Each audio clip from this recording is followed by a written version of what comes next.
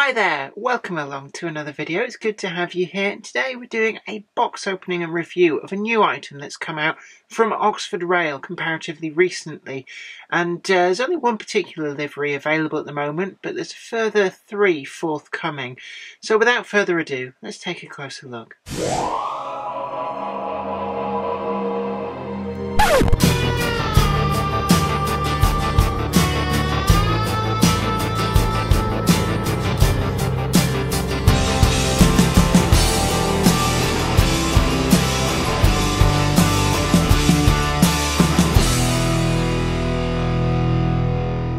We got here, it's the new Oxford Rail N7062 tank locomotive.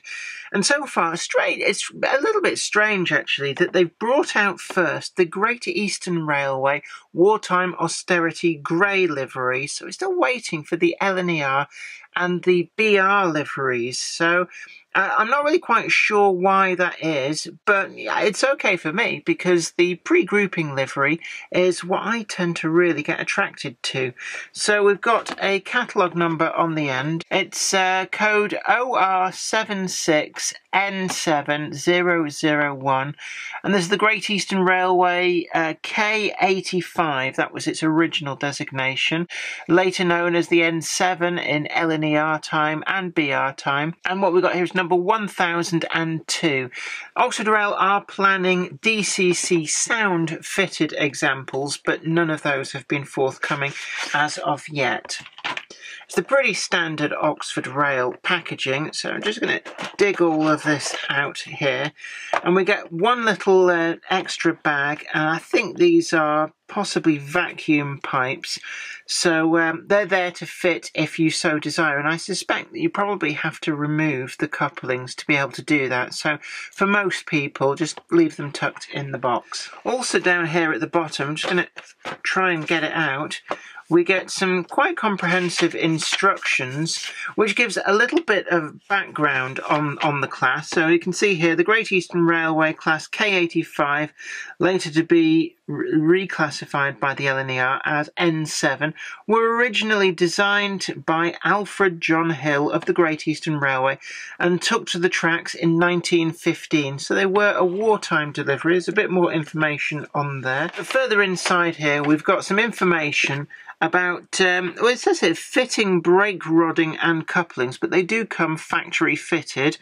Um, we can also see as well a little bit of advice on oiling if needs be, um, and there's uh, also some quite helpful information here on where the DCC socket is in the, the bunker just there. And I believe it's an 8-pin socket. And it also shows you how to be able to get the lid off. It appears that there's only... Let's have a look. Uh, it says one, two, three, and four. I think there's just the possibly three screws holding it on. In fact, yeah, we can see here one at the front underneath the coupling and then one either side there. We'll get a closer look at those once we get to the model itself. And uh, that's pretty much all we get in there, but it is helpful that manufacturers are starting to uh, show people how to get into these, certainly with the advent of DCC fitting it's really useful to be able to get inside these things. there's quite a few that, uh, certainly from Heljan, that do seem to be an epic test of endurance to be able to get inside and to um, stand a chance of DCC fitting them. First impressions of it are it's very, very weighty, and you can actually feel it's um, it's been in a, a, cold environment for a little while. So the metal castings, which are the uh, water tanks on the side and the bunker sides itself, they're solid metal, and it adds a great weight to this. So in terms of um, sitting on the track, it certainly has everything it needs for good traction.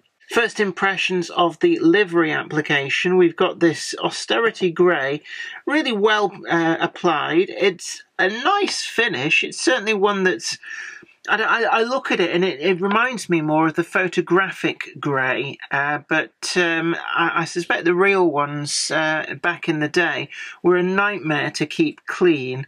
Uh, but in model form, straight out of the box, it does really look nice. And we've got some very crisp demarcations between the black and the grey, which really makes it stand out. It's almost an Art Deco sort of a uh, application of livery.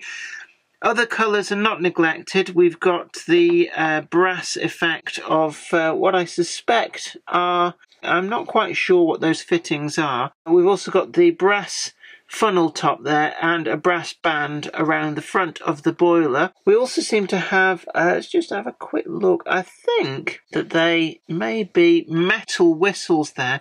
It's very difficult to tell, but they look like they could be a metal whistles and you know looks are everything with these things the safety valve cover there and the safety valves themselves they are really nicely done separately factory applied pieces and uh, they look really really nice in terms of uh, ruggedness, I've got it out of the box here, and the pipework is all pretty well attached. There's nothing falling off, and that's something which from some of the manufacturers has been a little bit of a problem, but we're not getting any of that from Oxford Rail with this, which is their, I think it's their third locomotive offering after the Dean Goods and the Janus Industrial Shunter. The buffers are all sprung turned metal, every single one there. We also have some of the buffer beam pipe detail ready fitted, any that doesn't foul the coupling. And uh, we can see on the front there the red buffer beam with the number number 1002 picked out in yellow and black. One thing I would say about the yellow is where it's overpainting uh, a tampo printed over the red, it does look like there's quite a bit of bleed through of the red through the yellow. So it mutes that yellow down a little bit. I wouldn't say it's a great detraction, uh, but I don't know whether it's meant to be like that or whether we're seeing a reoccurrence of the problem which uh, Oxford Rail had with some of their red base liveried private owner wagons. The front smoke box door, I don't think it opens. I'm just trying there. No, it does seem to be pretty well shut. And actually, opening smoke box doors very much a gimmick, which um, I would not be unhappy to see the back of. I think they all they do is add cost without adding anything in terms of value to a model. If I turn the model round to the back, we've got a representation of a coal load in the bunker. I'm not actually sure whether that is removable, but it sits well below these greedy bars around the uh, top. So if you want to fill that up with a representation of real coal, you can do that by crushing down a lump of real coal. And there's plenty of space to glue in over the top without uh, compromising it and making it look like it was stupidly over full. The cab backhead detail seems to be quite simplified compared with some of the more recent offerings that we've seen from both Bachmann and Hornby, but I wouldn't say that that's a massive problem. You're not, in the general rule of things, going to see an awful lot of what's in there. So if it helps keep down cost, then that can only be a good thing. And certainly at a uh, price in the shops of around the £87 mark. This is certainly offering a pretty good value for money compared to some of the tank engine offerings that we're getting now from both Hornby and Bachmann, which are, are starting to, to crest the £100 mark. The wheels themselves, they're pretty fine spoked there, and I'm particularly pleased with these fluted coupling rods. They are really nicely done. The red is not too garish, it's sort of a, a, I wouldn't say completely matte scarlet, but there's an element of shine there, but not enough to make it look silly in model form. And we've got these uh, the oil boxes nicely picked out in the sort of gunmetal colour. The rods appear to be attached with these large hexagonal nuts, but they don't look out of place on the model, so I suspect that they're quite easy to take off, put back on as and when required, uh, without compromising the detail here. As you can see on the underside, the brake rodding on this example has come factory fitted. We've got the couplings in the NEM pockets, so you can easily change them for anything else that you want. The pickup wipers are on all six of the driving wheels, and I'm looking down there. They're a little bit hard to see, but as far as I can tell, they are touching the wheel backs at both extremes of travel. The pony wheel has this rather interesting arrangement. It reminds me a little bit of the Bachmann 56XX062 Great Western tanks, except it doesn't have any any side to side movement. It does have a sort of a twisting motion that it can go through and it can slide quite a good distance from side to side. But the wheels will always remain parallel to the driving wheels. So um, it should look all right on the track I have had this test run, and this is where the big disappointment for me starts. When it first went on the track, it did work, kind of. Um, I did have to prod it a few times, and I put that down to dirty track initially. I did manage to get a circuit of the track out of it, but then it faltered and died completely on me. Got a severe problem with it. Um, it's just, it's gone dead. There's nothing going on there and I've got power on full. Full doesn't matter whether I could do it. Forwards or backwards. This is a pretty poor show actually on quality control. Um, if I short out there's definitely power to the track and I'm getting nothing. Nothing whatsoever. So I'm going to turn it round try the other way and it's run for maybe 30 seconds and then just died completely. So that is a very poor show on quality control. I did uh, go through a process of testing the track to make sure, and I definitely had power to the track, tried it on both different tracks out in the shed, but I couldn't get any further life from it. There was no smell of burning of any sort, so it doesn't appear to have burnt out the motor um, for whatever reason, and moving the locomotive from side to side verified that uh, it didn't appear to be a problem with the pickups, and this for me was a big, big disappointment.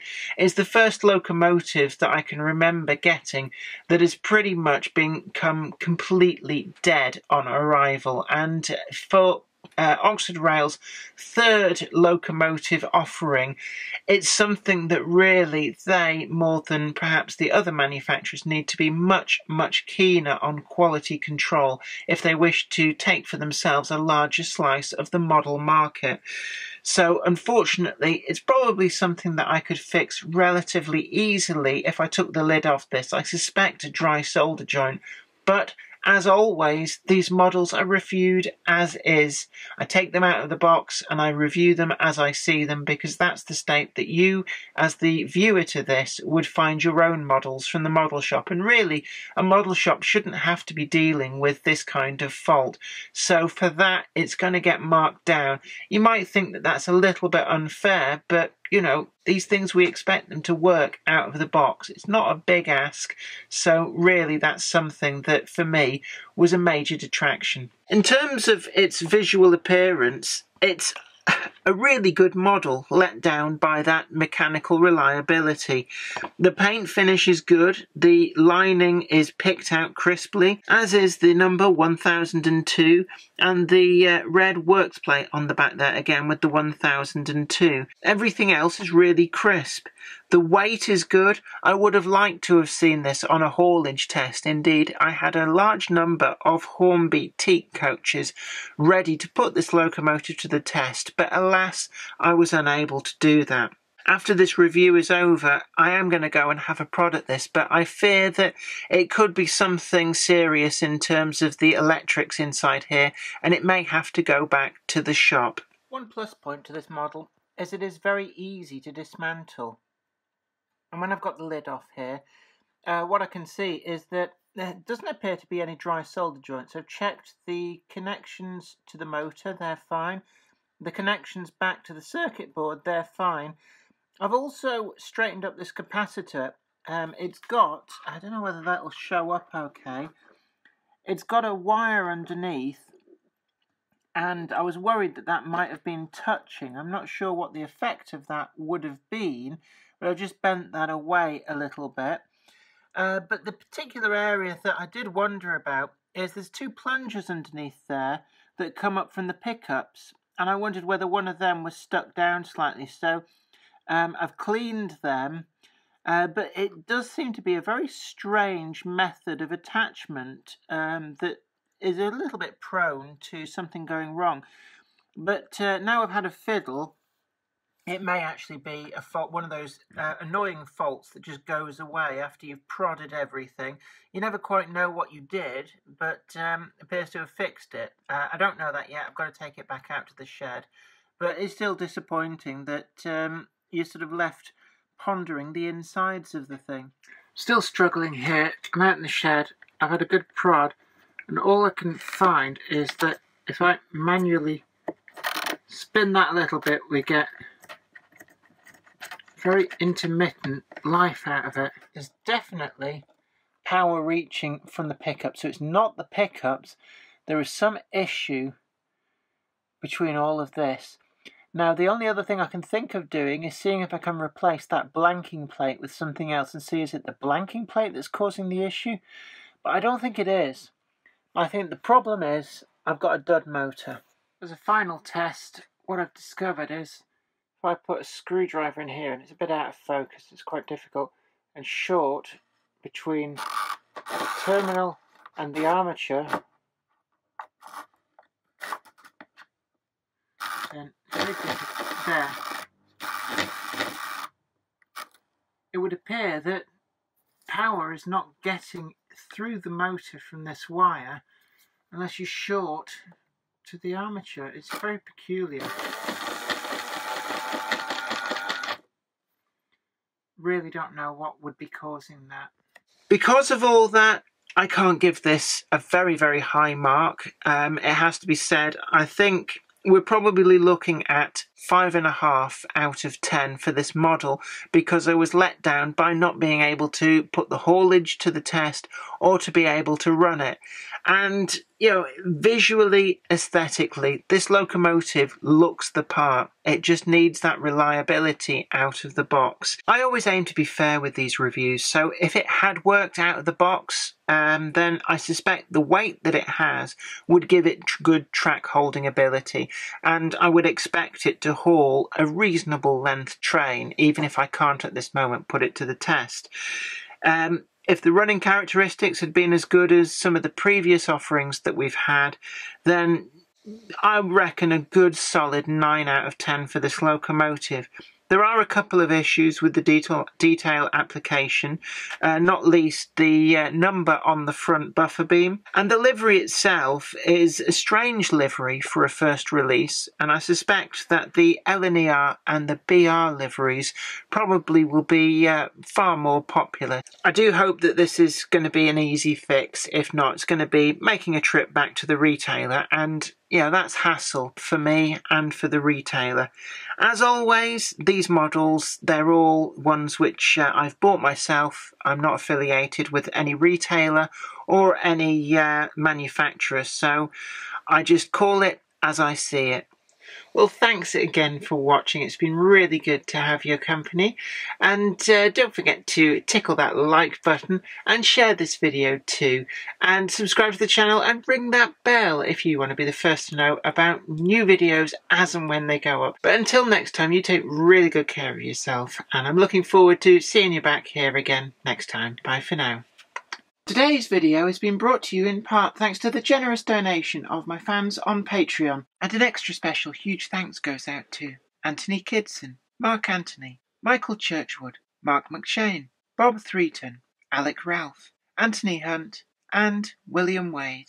If you'd like to help support the show, head on over to patreon.com slash Jennifer Kirk. Thank you. Today's video has been brought to you by my books, Bringing Home the Stars, Twinkle Little Star, and also you can get the complete comic collections of All Over the House, Books 1, Books 2, and also the wacky zany Life of Knob T. Mouse. Thanks and catch you later.